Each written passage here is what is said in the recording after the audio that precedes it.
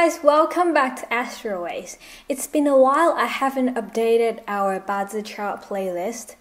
You'd think I probably have talked about everything regarding to Bazi, but no. We still have a long way to go if you want to do a professional chart reading. The reason why I kind of paused a little bit on Bazi chart is because I realized a lot of people find it hard to catch up or understand. Well, this is not easy, but the chart reading is not like face reading. You can check out your face and match to the example I gave you. But the chart is a lot more complicated. Only the year pillar has 60 types of potential combinations, and we have 12 months every year. So only for the year and month pillars, we have 720 types of charts. Plus the combination of the day and time pillars, we have in total 518,400 possibilities. That's before knowing if you're a male or female, and your gender and birth months determine the order of your 10 years luck pillar. And on top of that, every year has a different pillar adds up to the reading. Every month is a different pillar. Every day is another different one. Every hour is a different one. We have a long way to go so, why don't we take one step at a time? You try to digest as much information as you can. I'll try to simplify things for you. Okay? Okay. So, from the last 22 episodes, if you already digest all of them, I believe you have an idea how to analyze if a chart is a strong one or a weak one. Again, don't think that a strong chart means you're strong or a weak chart means you're weak. It's not like that. It's nothing physical related. Having a strong chart doesn't mean that you were born with a lot of muscles without having to do exercise. This is simply just two different type of charts. However, if you think you know how to calculate if a chart is a strong chart or a weak one, today I'm going to tell you something that may ruin your confidence. It's called special charts.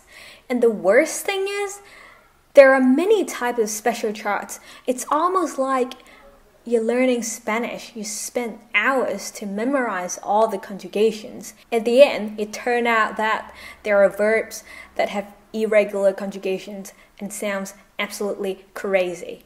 This is what it's like. In chart reading, you have special charts that really complicate your life. We have those fake special charts that really ruin your life. Sometimes the difference is so subtle. One element enters the chart that can change everything completely. So, what is special charts? Special charts can be divided into three big categories, three types of structures. First one is pay attention to this. First one is called the follower chart. That means your day master is very, very weak. So weak that you have no supportive elements, no friends, no resource, none. The whole chart is full of output, power, and wealth elements. For example, if your day master is wood, and it's the one and only wood in your entire chart. You have no other woods, no water. All you have are fire, metal, or earth. You have no help from anywhere at all. Then we say it's a follower chart. You're so weak that you're better off following your opposing elements than finding supporting elements. In this case, this chart is read in a completely opposite way comparing to a normal chart reading. A normal weak chart, we say it's better to find supporting elements to make your self element stronger so that you can take the opposing element. But for a follower chart, it's the opposite. You actually better off following your opposing element. There's no point building up your supporters anymore. You need to make your opposing elements happy. However, to define if your chart is a follower chart is not easy. We need a full episode to talk about that later. Today, we'll only learn the overall view of the three special structures. We won't go into details. Okay, so that's the follower charts. The second structure is called the overly strong chart, which is the opposite of the follower chart. The overly strong chart means your day master is overly strong. Say your day master is wood. In your chart, you only have either wood or water, especially wood. You have no opposing element, not even one. Then we say your day master is overly strong. It's better not offend it. It's better to leave it that way. The more self elements or supporting element appear, the better, because it's too strong to be controlled. However, this overly strong chart can also be divided into two types.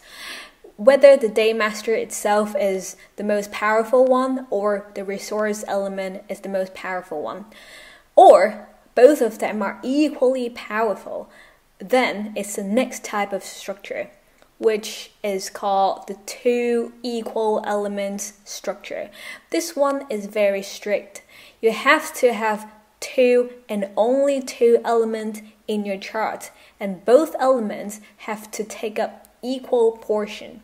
They're equally strong. This type of chart is rare. Some people won't consider it as a special chart because most of the time it can be read as a normal chart. But I list it out here because it depends on which two elements. You can tell a lot about a person. This type of structure have two categories, which is the two elements are either opposing elements or supporting elements. Each category has five possible combinations. Why five? Because there are five elementos. In total, there are 10 combinations. Again, we're not diving into details in this episode. So, three types of special structures of Bazi chart. No matter what type you are, if you are one of these types, it's not necessary to be good or bad. But you be one of these people who never want an ordinary life. You want anything but ordinary. I'd rather be anything but ordinary, please. There's no evidence showing that having a special chart will be more successful than not having one. It may benefit you in some way, but it may also pull you back in other way. So don't judge it now until you learn the whole thing. In next episode, we'll start with the follower chart. Alright, guys, that's all for today. If you want to have your personal chart reading with me, you can email me at astroways.info at gmail.com or find me on Facebook at Astroways. If you like my video, please give me a thumbs up. If you want to know more about metaphysics, please subscribe my channel and I'll keep you updated.